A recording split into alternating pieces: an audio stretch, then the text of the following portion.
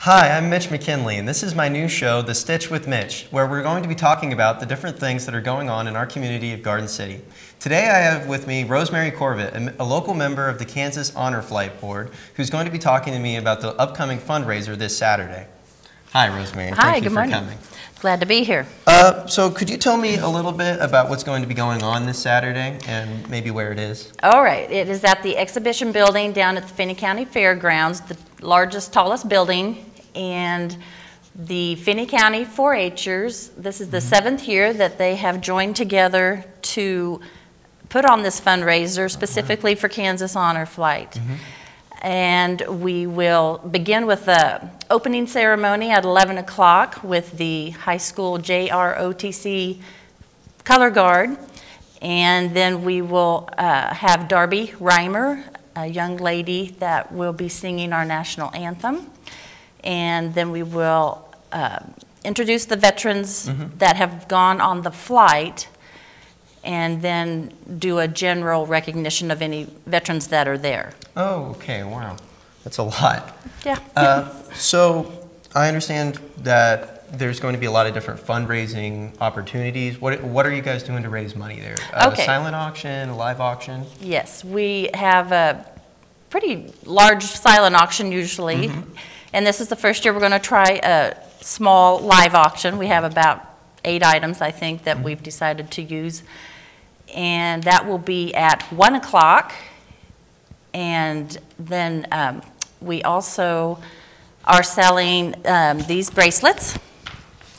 Uh, The Wichita volunteers started selling these last summer for $5 a piece, and they've raised $11,000 so far. So they're really popular there, so we thought Yeah. we'd try to sell them here. Uh, so you mentioned the uh, Wichita chapter, the Kansas Honor Flight. You were telling me that there are several different uh, hubs Mm-hmm. around the state.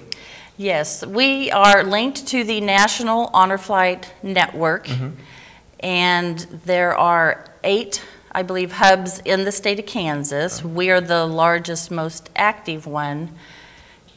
And uh, the other ones are usually schools, and they fundraise throughout the year, and then they'll take one flight Right. in the spring. Whereas most of the um, Garden Cities comes from this main fundraising event that's going to be going on this Saturday. Yes. Okay.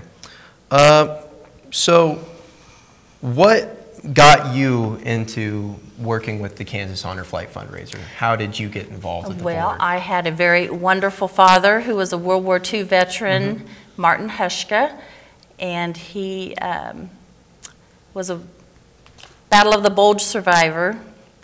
And in 2011, April of 2011, Mm-hmm. I was his escort on the trip, the honor flight trip. It was a different board Mm-hmm. organization that was doing this at the time. The current one that I am on, Kansas Honor Flight, we began in May of 2012. okay. But I went with my dad, and it meant so much to those guys that um, when our new board formed in May of 2012, they asked me to join. I said, of course. I just love it. Wow, that's great.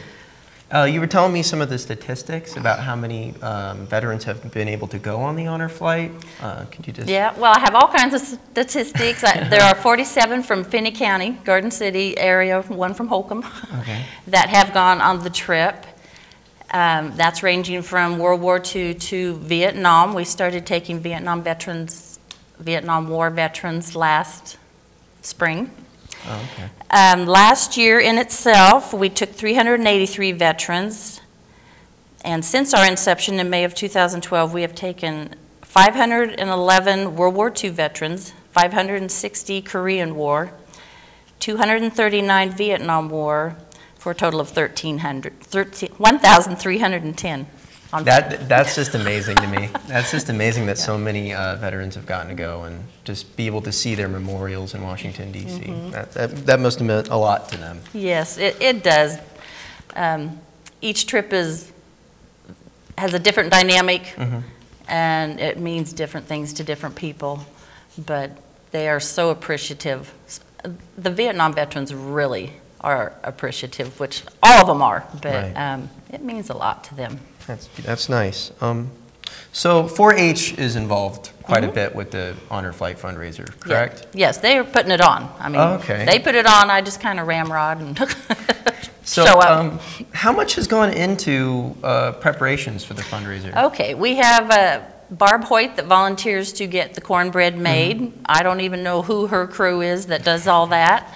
Um, Taylor Kennelly, the ag, aid- or the 4-H agent here in the county, Mm-hmm. she uh, organizes the 4-H families. So everyone from the little ones to the adults, they all are asked to um, contribute time and baked goods Mm-hmm. for the um, baked goods sale, which I didn't mention. Okay. Um, And the, they do all the serving, cleanup. Uh, So if someone wanted to go, would Mm-hmm. they need to buy a ticket there or? You may buy a ticket there. The 4-Hers are selling tickets. Okay. The, we ask for a suggestion of 5. dollars Mm-hmm. So you get chili, uh, some vegetables, a dessert, hand, homemade dessert, and a drink. Wow, that's a pretty good deal for $5. Pretty good deal. Uh, How might someone be able to contribute to the Honor Flight year-round? Is there a, what, where do we go? You go to the website, Okay. Kansashonorflight.org, and you are able to do that through PayPal. Um, The address for our treasurer, who lives in Hutchinson, is P.O. Box 2371, Mm-hmm. Hutchinson, Kansas. And I'm going to butcher the zip code. I can't remember what it is. Okay. Um, How, if we weren't a member of 4-H, but we wanted to get involved Mm-hmm. with um, volunteering for the Honor Flight, how might someone go about doing that? Just give me a call. Give you a call, great. Yeah, uh, my phone number's on the website. Um, I have, uh, I have business cards at Garden Pharmacy. They have a little entryway there, and I have a little flyer. Okay. So, Um, I think that's all I have to ask you. So uh, thank you again so much for coming. You are welcome. Thank you. Thank you, Mitch. Uh, I'm Mitch McKinley, and this has been The Stitch with Mitch. Thank you so much for watching. See you next time.